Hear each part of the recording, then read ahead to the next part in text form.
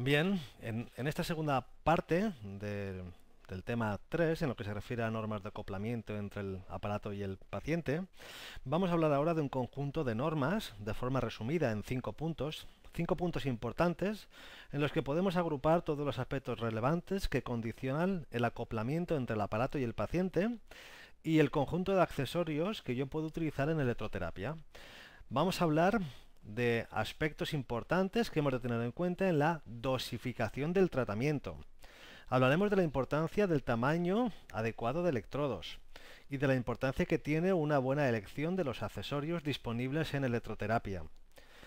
Hablaremos de la importancia de una correcta fijación de la intensidad adecuada, lo que denominamos intensidad terapéutica, establecida siempre en función de la fase de la patología en la que se encuentra el paciente y hablaremos también de cómo identificar esa intensidad terapéutica con el nivel de sensibilidad del paciente.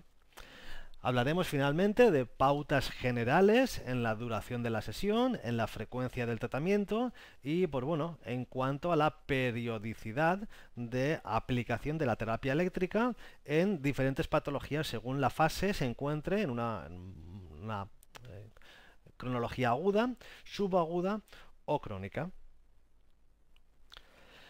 En cuanto al primer punto, tipos y tamaños de electrodos y accesorios disponibles, tenemos que decir que hay una gran cantidad de accesorios con los que se puede trabajar y complementar la terapia eléctrica. Cuando nosotros compramos un aparato como el de la primera diapositiva, ese de la pantalla abatible, un aparato relativamente caro, el fabricante me proporciona un juego de electrodos de 8x12, son los tamaños eh, grandes, y un juego de electrodos de 6x8, tamaños medianos. Hay gente que piensa que con ese juego de electrodos se puede tratar de forma adecuada todas las posibles patologías que se pueden presentar en un ámbito clínico, en un ámbito clínico diario. Me parece, personalmente, me parece una barbaridad querer tratar a todos los pacientes con los mismos accesorios, teniendo en cuenta que existen diferentes patologías con áreas completamente diferentes.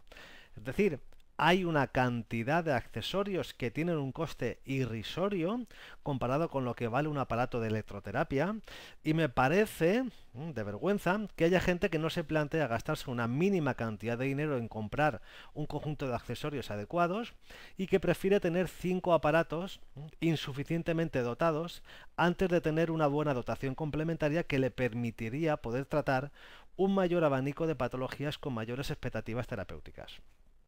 Para mí, personalmente, es tan importante tener una adecuada dotación de accesorios como tener una buena dotación de aparatos de electroterapia. Esto me va a permitir tratar de forma adecuada cualquier tipo de lesión, independientemente del área, de la estructura, de la localización e independientemente de otras muchas variables. Por lo tanto, en este primer punto de esta segunda parte de la clase vamos a repasar de forma general algunos, y solo algunos, de los accesorios que existen en el mercado y que me van a permitir tratar un mayor abanico de patologías con mayores eh, previsiones de éxito terapéutico. Aquí tenemos los electrodos de caucho o de goma conductora, ya los hemos visto en alguna diapositiva anterior que ya hemos dicho que deben ser aplicados con esponjas humedecidas en agua. Bien, tanto estas esponjas como estos electrodos deben ser renovados con el tiempo para evitar riesgos de mala praxis que me puedan provocar una quemadura o cualquier alteración en la densidad de corriente. Una quemadura que ya dijimos que podía ser de dos tipos, la llamada quemadura eléctrica, que toda corriente puede provocar por concentración de una elevada intensidad en un área pequeña de tratamiento, pero también tenemos otro tipo de quemadura, la que llamamos quemadura química, derivada de la acción o del componente galvánico de algunos tipos de corriente eléctrica, debido a la movilidad iónica que son capaces de provocar en los elementos que, están entre los electrodos. También dijimos que además de los tamaños estándar de las casas comerciales, yo podía recortar el tamaño de cualquier electrodo para adaptarlo a una zona de lesión mucho más pequeña que la estándar. Aquí tenemos en la diapositiva de los electrodos, tenemos un tamaño o un cuarto tamaño diferente a los tres anteriores, más pequeño que los estándar, debido a que yo personalmente lo he recortado para adaptarlo a una zona corporal mucho menor. Si la zona es extremadamente pequeña, tan pequeña como un punto, pues puedo utilizar lo que llamamos electrodo de lápiz o electrodo puntual, lo tenemos en la fotografía de la derecha. Este material también debe ser utilizado con su correspondiente esponja de color amarillo, de celulosa, como elemento de protección que como todas debe ser renovada con el tiempo para evitar posibles lesiones en el paciente. Ese electrodo de lápiz no es más que una varilla metálica, como se puede observar en la fotografía, recubierta con una esponja que hace las veces de factor o elemento de protección.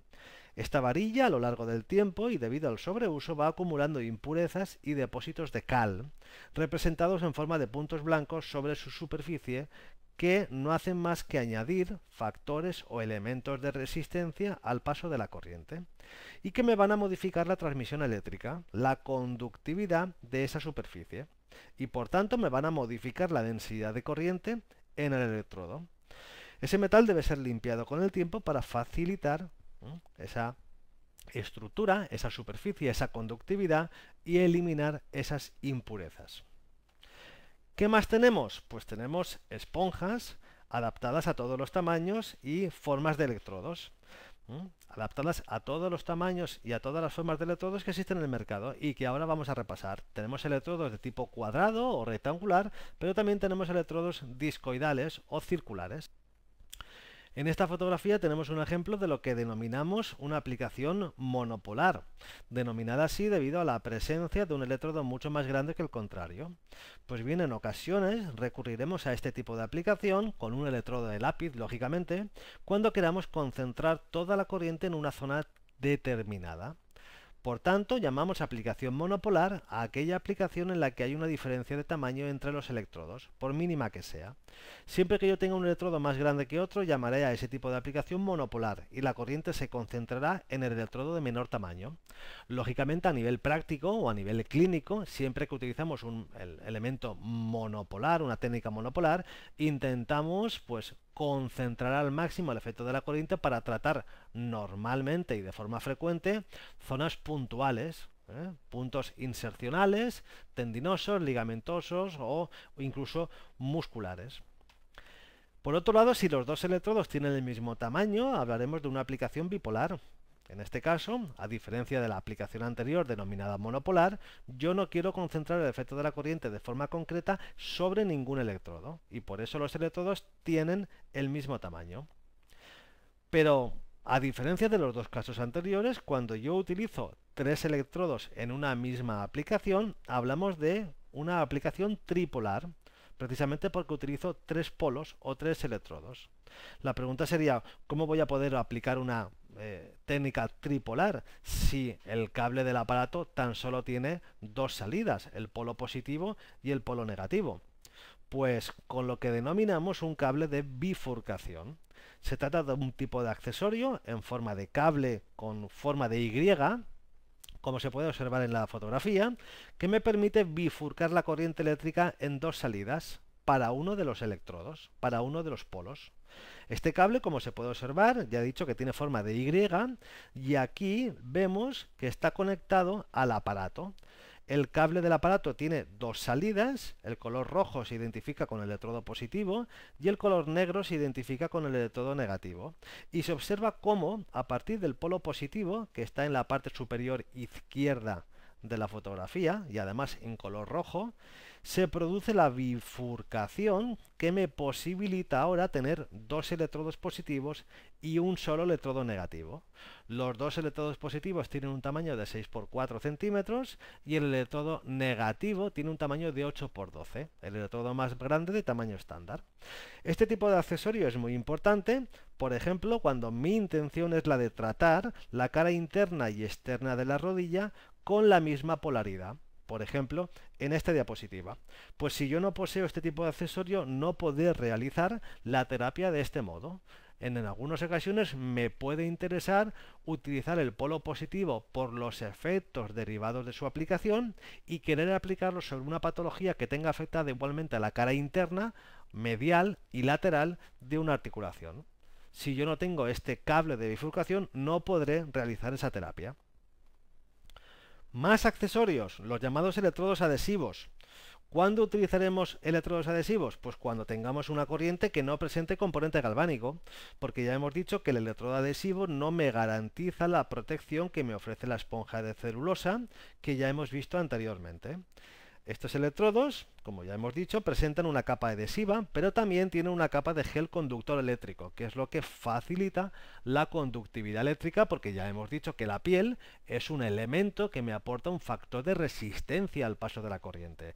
Y yo siempre tengo que utilizar elementos que me favorezcan esa conductividad, bien con una esponja humedecida en agua, o bien en el caso de un electrodo adhesivo, en el caso, pues yo utilice una capa de gel conductor. Estos son los electrodos de caucho o de goma conductora especial asociados a una corriente que hablábamos antes en la primera parte de la clase, una corriente denominada TENS, con el acrónimo TENS, que se podían utilizar sin adhesivo, sin esponja y únicamente con la capa de gel conductor eléctrico. Este tipo de corrientes tipo TENS son corrientes compensadas y por lo tanto carecen de componente galvánico. Por eso yo me puedo permitir el lujo de utilizarlo bajo esta forma, sin las esponjas de protección. Este tipo de electrodos corresponden a una forma especial que llevan la medicación incorporada. Cuando yo quiero beneficiarme de una aplicación de electroterapia con una medicación asociada a ese tratamiento eléctrico, en una técnica denominada iontoforesis, que veremos en un tema posterior, definida como la utilización de la corriente galvánica para facilitar la introducción de sustancias medicamentosas a través de sus iones en el interior de los tejidos. Pues cuando yo quiero utilizar un electrodo y medicación para favorecer la difusión iónica, existen casas comerciales que me proporcionan ya el electrodo en forma de parche con la medicación incorporada. ¿Mm? Otra opción es la de colocar un electrodo de caucho de goma conductora como los que hemos visto antes y colocar la medicación ¿eh? en una gasa justo debajo del electrodo adecuado. Y digo del electrodo adecuado para que me permita, gracias a la repulsión de las cargas eléctricas ¿eh? con las cargas del medicamento, ya sabéis que bueno, signos del mismo polo, la misma polaridad, se repelen y signos de polaridad contraria se atraen. Si yo lo que quiero es favorecer la difusión iónica del medicamento, tendré que conocer la polaridad del medicamento, positiva o negativa, para colocarla debajo del electrodo adecuado, positivo o negativo tendré que colocar la misma polaridad del medicamento bajo el mismo polo del electrodo para favorecer esa repulsión de las cargas que me permita la penetración de esa sustancia a través de la piel. Bien, en este parche que ya lleva la medicación incorporada tenemos perfectamente delimitado y localizado el polo positivo y negativo, lleva una pila que es un acumulador de corriente con la medicación incorporada justo debajo del electrodo adecuado. El paciente se coloca el parche, lo lleva una serie de días y se produce una liberación constante de, la cantidad del medicamento o del volumen de medicamento que lleva asociada, que parece ser que aquí sea de un centímetro cúbico.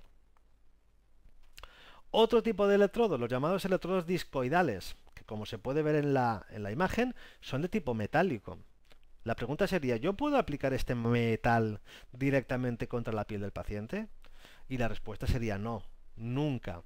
Tengo que utilizar una esponja, una esponja de celulosa, como las amarillas que ya hemos visto anteriormente, que proteja del contacto directo entre el metal y la piel del paciente. En estos casos la esponja, lógicamente, como ya hemos dicho, es de forma redonda, adaptada al tamaño del electrodo. Otro aspecto importante es que en la imagen, si nos fijamos bien, podemos identificar pequeñas impurezas en la superficie de ese metal, pequeños puntos negros. Esos electrodos tienen diferentes tamaños circulares, adecuados para diferentes zonas corporales y diferentes adaptadores. Pero vemos esa superficie del metal como hay pues bueno, pequeñas sombras de color negro que lógicamente corresponden a un uso excesivo y ya hemos dicho que de forma periódica tiene que ser limpiada esa superficie para eliminar las impurezas y mantener la capacidad de conductividad eléctrica. Después volveremos a hablar de este, de este quema. Aquí tenemos una aplicación clínica de electrodos discoidales y una aplicación de un electrodo de lápiz. En ambos casos estamos hablando de un método monopolar, porque vemos que los electrodos son de diferente tamaño.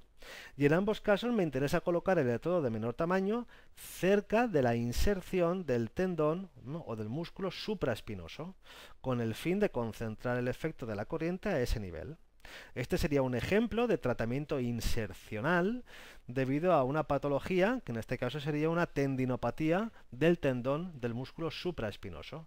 Esa sería más o menos la forma de tratamiento. Posteriormente, en temas eh, que veremos después, abordaremos la utilización directa con una corriente concreta y con parámetros concretos. Pero ahora estamos hablando de forma general de la cantidad de accesorios que tenemos que conocer para poder tenerlos disponibles en diferentes tratamientos. Estos electrodos son conocidos como electrodos de ventosa o de succión, que me permiten una fijación con gran facilidad, ya que el equipo, el equipo de electroterapia, provoca un vacío, una succión, que permite que el electrodo quede automáticamente fijado a la superficie del paciente y por lo tanto garantiza un acoplamiento perfecto con la zona de tratamiento. La principal ventaja de este tipo de electrodo, de diferentes formas y tamaños, pero en definitiva son electrodos de succión o de vacío, es la gran facilidad con la que se fijan en cualquier superficie, especialmente si es irregular, si tiene relieves óseos o si tiene o presenta dificultades para ser cinchada por su localización corporal. Hemos de tener en cuenta que el electrodo es metálico, Veis la placa metálica que hay en el interior de la ventosa y por lo tanto, como hemos dicho ya en numerosas ocasiones, tenemos que utilizar esponjas, en este caso circulares también, para cubrir esa placa metálica. Esponjas humedecidas ¿eh? para que esa placa metálica no contacte de forma directa con la piel del paciente. Otras ventajas añadidas a la fácil y rápida fijación, pues por ejemplo, es que el vacío producido puede ser provocado de forma continua o intermitente, permitiendo una compresión y descompresión rítmica en el caso de que sea intermitente, y que además yo puedo regular en el grado de succión que quiero que provoque el aparato. Esa sensación de presión, combinada con una descompresión, disimula a veces el paso de corriente y es especialmente útil para pacientes que tengan miedo o pánico a la terapia eléctrica. Por tanto, a veces, durante las primeras sesiones o mientras el paciente se acostumbra a la sensación eléctrica, puede utilizarla, esa esponja, esa ventosa, con un ritmo de compresión-descompresión, pues para mejorar la sensación del paciente, la sensación eléctrica, para disimular el paso de corriente y darle un mayor grado de confort. Por otro lado, otra ventaja añadida de la succión intermitente o rítmica es en el caso en el que el paciente presente una patología que curse con acúmulo de líquidos. Este elemento de compresión y descompresión rítmico, conforme aparece el vacío y desaparece, me podría ser muy útil para movilizar el edema o el hematoma acumulado en determinadas patologías y favorecer así una mayor y precoz reabsorción de ese líquido acumulado.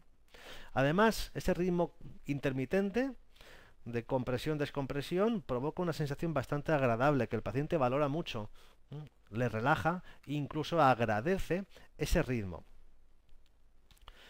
Pero no todo van a ser ventajas. Ahora viene la parte negativa de este tipo de accesorios, de las ventosas, por las que en ocasiones hace que no sea recomendable su utilización. Una desventaja es que este tipo de accesorios es la escasa variedad en el tamaño de electrodos. Estoy bastante limitado en los tamaños que las casas comerciales me proporcionan. Básicamente existen dos tamaños estándar, uno grande de ventosa y otro pequeño.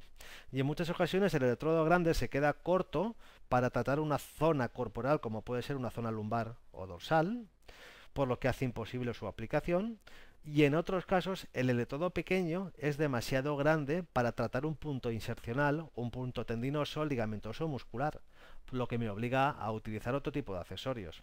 En definitiva, pues el electrodo más grande que la casa comercial me proporciona es pequeño para una zona lumbar y el electrodo más pequeño que la casa comercial me proporciona es demasiado grande para tratar un punto concreto, un punto pequeño. Otra desventaja aparece en el caso de que el paciente presente algún tipo de fragilidad capilar. especialmente en pacientes de edad avanzada o en aquellos que estén tomando anticoagulantes. En estos casos tenemos que tener un especial cuidado porque fácilmente podemos provocar una rotura capilar provocada por el grado de succión que provoca la ventosa, que provocaría pues, al día siguiente un hematoma más o menos importante en la zona de aplicación, precisamente por rotura de capilares. Por eso se recomienda tener mucha precaución con el grado o la intensidad del vacío o la intensidad de la succión seleccionada en el aparato, porque en algunos pacientes podemos provocar bueno, una rotura importante de capilares de la piel y tener un hematoma importante. Aquí tenemos un aparato de vacío con ese regulador de la succión que va desde la posición 1 hasta la posición 10. Y por otro lado podemos observar un total de tres botones amarillos que me marcan el tipo de succión que yo quiero aplicar. Uno de los botones amarillos sirve para seleccionar la succión de forma continua, constante, pero por otro lado tengo dos botones para seleccionar una forma de succión intermitente, con ritmos o frecuencias de intermitencia diferentes que me favorecen la provocación de la succión y la interrupción de la succión con diferentes ritmos, uno más rápido que otro. En esta diapositiva podemos observar otro tipo de electrodos, en este caso de plomo. Hace algunos años se utilizaban con mayor frecuencia, ahora no tanto, pero son un, bueno, un tipo de accesorio que debemos tener presente porque en algún momento determinado me puede interesar utilizar.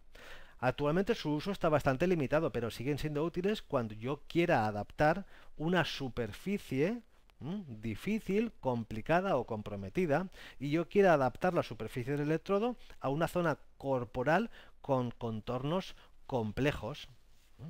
Pero me gusta enseñar todos estos accesorios para que tengáis una idea de la cantidad de material complementario que existe en electroterapia, independientemente del aparato de corriente. El aparato es lo más caro, pero tenemos mucha variedad de elementos o de complementos que yo debo conocer, debo saber si existen, debo saber que existen y, bueno, sería recomendable tener en todo su abanico disponible para poder tratar pues todas las posibles patologías que me puedan entrar en un centro.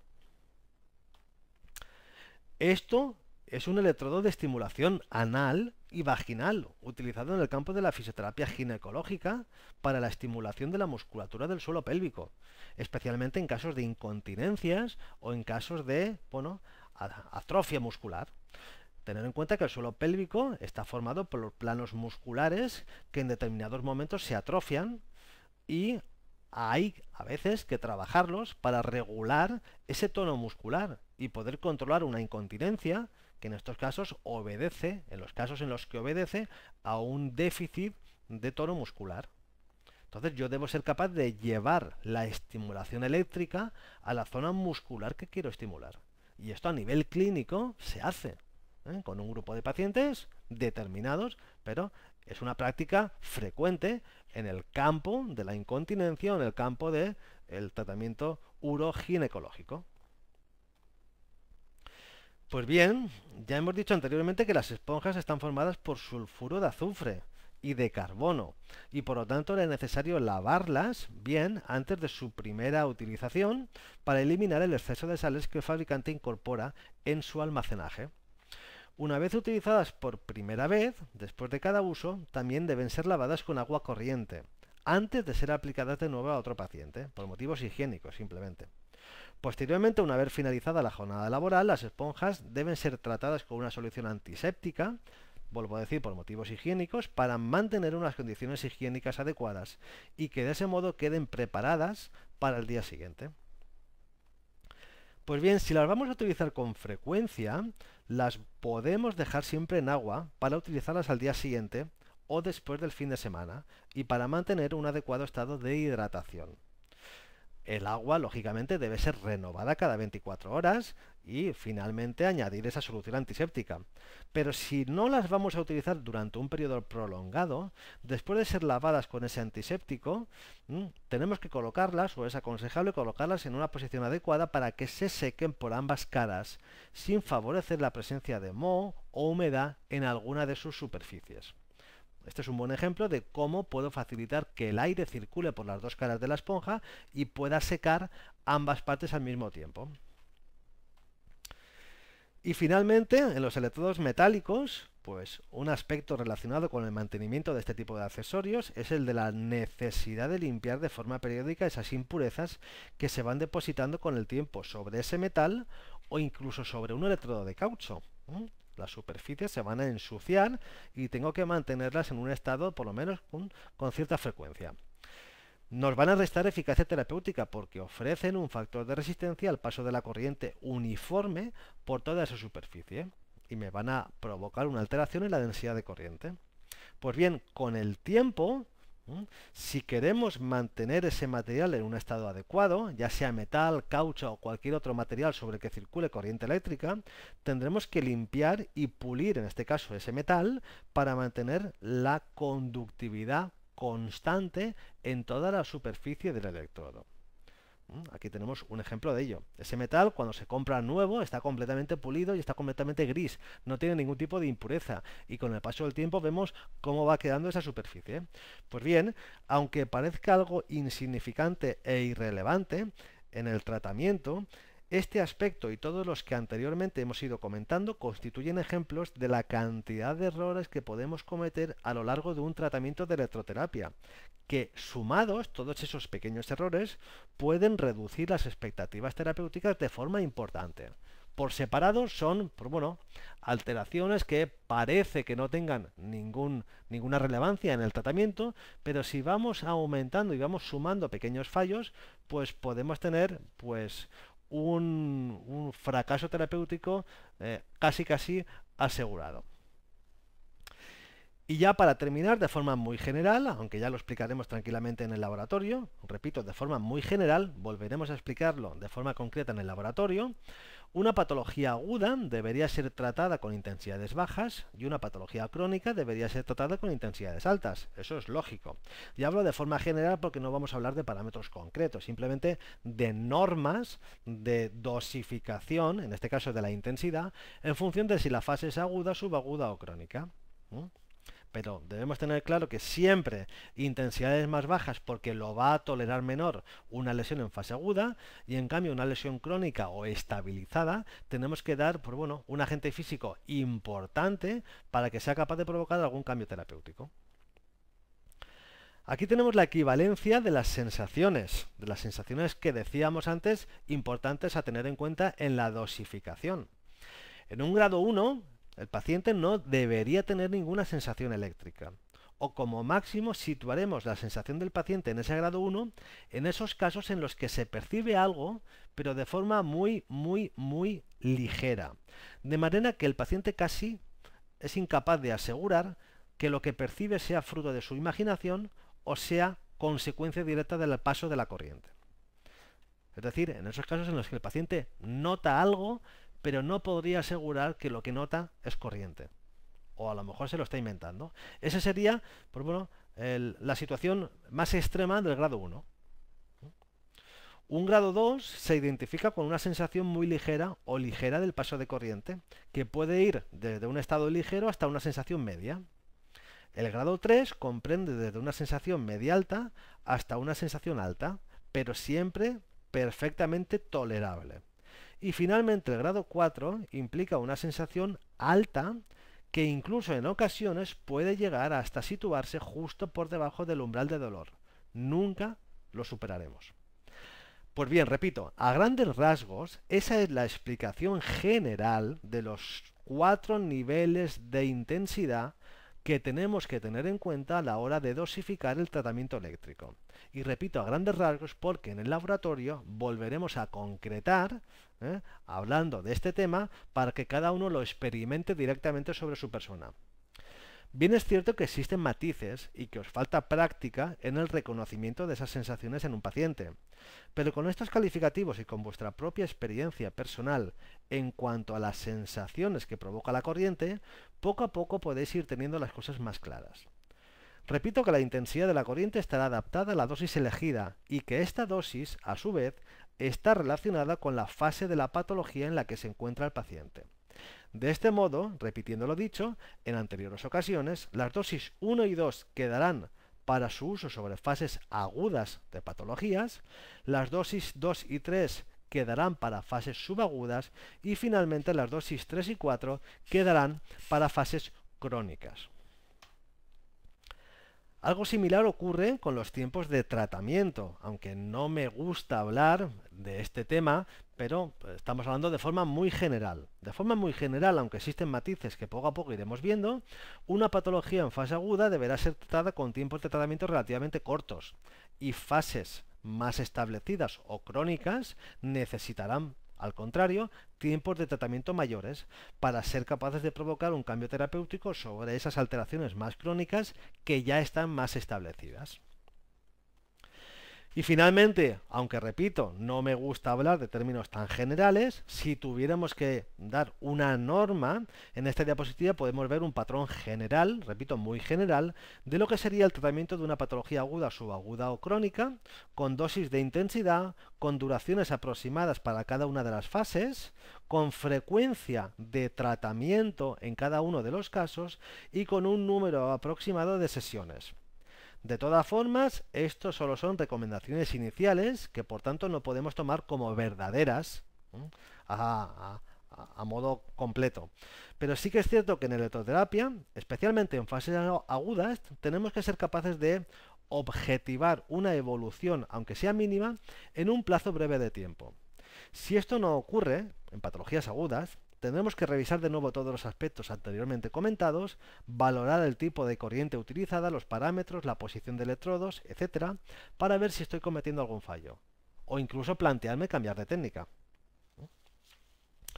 En una fase crónica deberemos tener bueno, un poco más de paciencia antes de poder esperar resultados en la evolución.